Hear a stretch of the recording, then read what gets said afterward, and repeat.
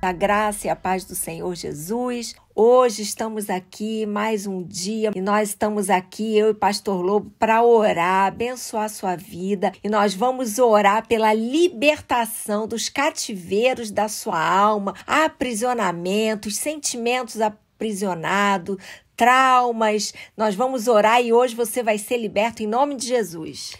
Olá, queridos, a paz do Senhor para a sua vida.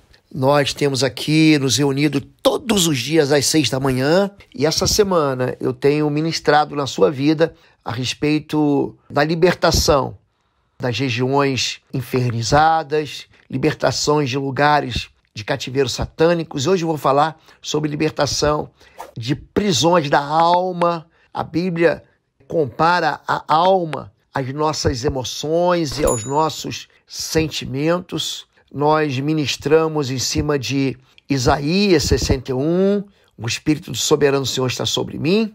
Ele me ungiu para libertar cativos, pôr liberdade os oprimidos, dar vista aos cegos, anunciar o ano aceitável do Senhor. Quando nós falamos, quando a Bíblia fala sobre liberdade, existe a liberdade dos cativeiros, de prisões em que nós chamamos de lugares infernizados, lugares aonde Satanás ele toma conta e ele traz destruição e morte. Existem as prisões chamadas das prisões sociais, aonde a pessoa vive miseravelmente, desgraçadamente, onde ela nunca alcança o nível de satisfação para os seus, os seus desejos, para os seus sonhos, para os seus planos.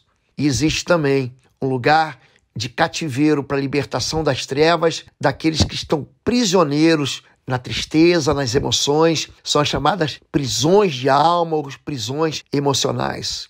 A Bíblia diz em Isaías 61:2 que Deus enviou Jesus para consolar os que andam tristes e dar aos que choram uma bela coroa em vez de cinzas, óleo de alegria em vez de choro e manto de louvor em vez de espírito deprimido. A Bíblia continua dizendo: eles serão chamados carvalhos de justiça, semeadura do Senhor, para manifestação da sua glória. E adianta, eles serão reconstrutores de velhas ruínas, restaurarão os antigos escombros, renovarão as cidades arruinadas que têm sido devastados de geração em geração. Tem pessoas que vivem sofrimentos que vêm de geração em geração, as suas vidas são como antigos escombros, são arruinadas, são experiências que elas vão somando de tristezas, de choros, de, de, de, necessidade de alegria sobre uma vida de pranto. Quando Jesus diz dar um manto de louvor em vez de espírito deprimido, ele está falando para pessoas que vivem em prisões emocionais da tristeza, a depressão ela é capaz de colocar um peso opressor sobre a vida de alguém em que ela não é capaz de se levantar. Tem muita gente que pensa que o deprimido é um fraco, mas não é.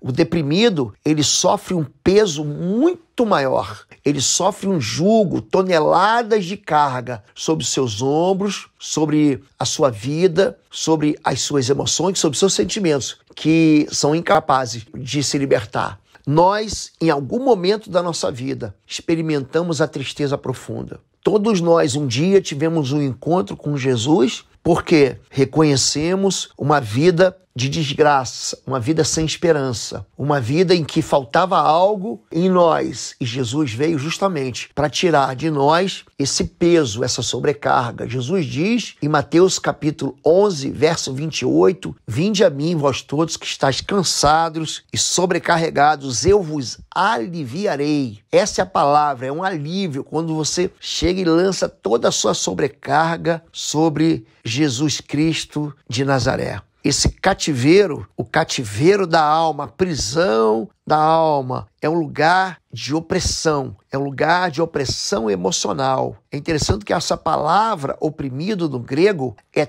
trauo, de onde vem a palavra trauma, que quer dizer quebrar, partir em pedaços, despedaçar, golpear com tamanha dureza. É feita uma separação das partes, onde você destrói a unidade, é quando você rompe, fragmenta. É isso que significa a palavra opressão, é você dispersar algo e fazer com que elas fiquem, fiquem minúsculas. É assim que as vidas das pessoas muitas vezes se apresentam. Dizem assim, pastor, eu estou em caco, a minha família está em pedaços, eu estou vivendo uma experiência que eu não tenho paz interior, eu não tenho alegria. Eu não tenho momentos de felicidade, eu não consigo me lembrar do meu passado de momentos de felicidade. O cativeiro da alma pode levar a pessoa a uma prisão junto com espíritos de morte. É interessante que J3330 diz: para reconduzir da cova a sua alma e lançar luz com os, os, que estão vivos. Aqui em especial, é J está dizendo que Deus irá redirecionar as motivações da sua alma para a vida, né? Tirar sua alma da, das trevas para a luz. Pessoas afligidas na alma se tornam alvo fácil do diabo e seus demônios. Salmos 13, verso 2, o salmista diz: Até quando estarei em eu relutando dentro da minha alma, com tristeza no coração cada dia? Até quando se erguerá contra mim o meu inimigo? Tem pessoas que são perseguidas por espíritos de morte, espíritos de opressão, espíritos de depressão. São pessoas que é, o inimigo visita as emoções, os sentimentos, de maneira a manipular e oprimir. Essas regiões, essas prisões de, de alma, são como uma floresta cheia de feras dominadoras. É, é, é como se você tivesse num campo, debaixo dos fogos da artilharia inimiga, sem possibilidade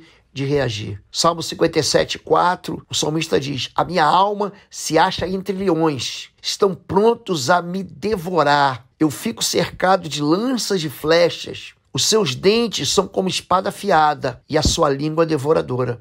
Ou seja, todos os relacionamentos que essa pessoa tem são baseados em desconfiança, em medo, em insegurança, em perturbação, em ameaças. E Jesus ele veio justamente para libertar a nossa alma dessa região, nos arrancar de lá e dar um novo destino, um destino de paz, um destino de confiança, um destino de amor de aceitação. E hoje nós vamos orar para que Deus te, te reclame, traga de volta a sua vida de todo laço do passarinheiro, quebre toda prisão, tire a sua alma do cárcere, para que você louve ao nome de Deus. Pastora Fabíola vai orar primeiro, eu vou orar em seguida. Oi, gente, um rápido intervalo.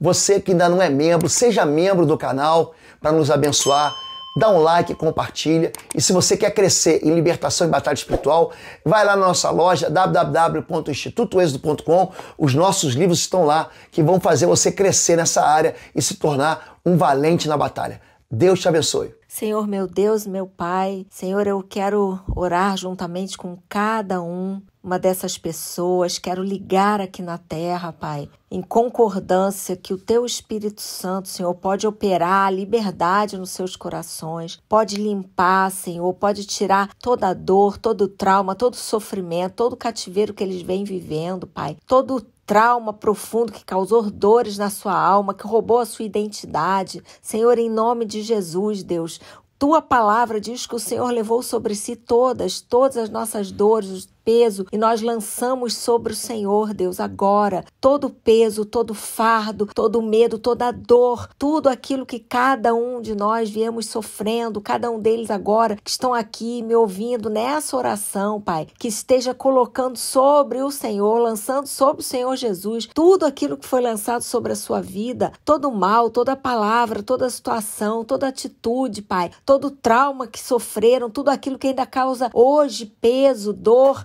Pai, em nome de Jesus, Deus, que eles tenham a sua identidade restaurada em Cristo Jesus, Pai. Que eles saibam que são amados do Senhor e que através do Senhor o Senhor pode promover uma cura sobre a vida deles, Pai. Senhor, que haja restituição, restituição de tudo aquilo que tem sido roubado, que o diabo tem roubado deles, Pai. Senhor, eu quero liberar, Pai, uma palavra de cura, de cura, abençoar cada um deles, cura da alma, cura das emoções, Pai. Eu repreendo toda, todo sentimento, Pai, inferioridade, toda insegurança, todo medo, todo pânico, todo desejo de morte, Pai. Eu repreendo em nome de Jesus, Pai. E eu libero hoje, nesse dia, uma palavra de vida, uma palavra de liberdade sobre cada um, em nome de Jesus. Amém, queridos e queridas. Eu quero te convidar para fazer uma oração comigo agora, repetindo de maneira com que em uma voz que alcance o reino de Deus. Diga assim: Senhor meu Deus, eu te amo, sou teu filho, porque Jesus Cristo me salvou e me perdoou dos meus pecados, tomando sobre si a cruz do Calvário. Eu quero mais uma vez pedir que teu Espírito Santo me conduza nessa oração. Eu anuncio o fim de todas as prisões emocionais, todos os guetos da alma, todos os esconderijos satânicos são agora destruídos em nome de Jesus de Nazaré. Eu quero convidar Cristo, meu Senhor e Salvador, para pôr em liberdade a minha vida, me livrando de todo trauma, de toda opressão, tudo aquilo que destruiu e fez em pedaços os meus sonhos. Eu faço agora recuar e se afastar da minha vida.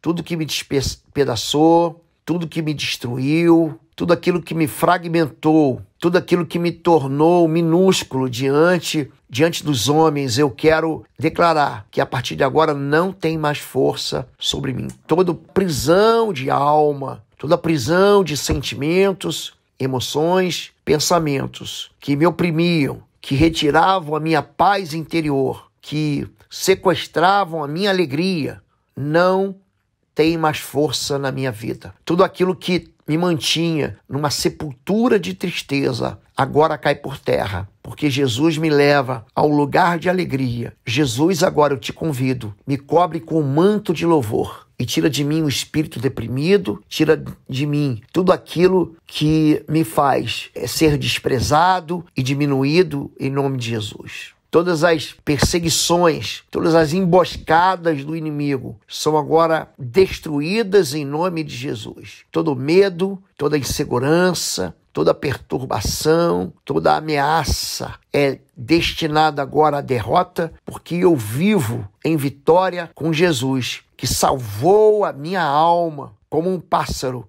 sai livre do laço do passarinheiro. Jesus tirou a minha alma do cárcere, tira a minha alma da prisão e me faz e me enche a minha boca de alegria e de sorriso. Eu hoje recebo o perdão do Senhor. A todo tempo de ação do inimigo, todo o domínio das trevas é retirado. E a partir de agora, o meu Deus, ele toma conta da minha vida, me trazendo liberdade, saúde, curando as minhas emoções em nome de Jesus. Eu oro amém, amém e amém. Você fica livre dessas prisões emocionais em nome de Jesus. Se você quiser continuar vivendo dentro dessa visão de libertação, batalha espiritual e cura da alma, eu quero indicar para você nossa plataforma de ensino à distância, cursos.pastorlobo.com. Tem uma novidade que é o plano mensal. Você pode acessar os sete cursos inteiros da plataforma Êxodo do Pastor Lobo por apenas R$19,90 mensais. É um plano é, mensal, você pode cancelar a qualquer momento que você quiser, tá bom?